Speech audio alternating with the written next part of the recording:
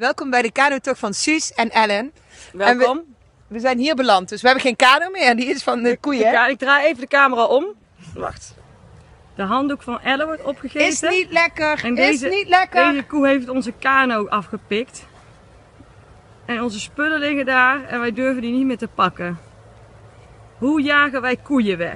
En die heeft ook een ijzerboksbeugel ding. Ja, die heeft iets geks in zijn neus en er komen steeds meer koeien aan aan de overkant. En ja, We moeten eigenlijk zo'n herder hebben, bestaat dat? ja, als er nou meer... Herder! Oh, mijn handdoek wordt ook opgegeten.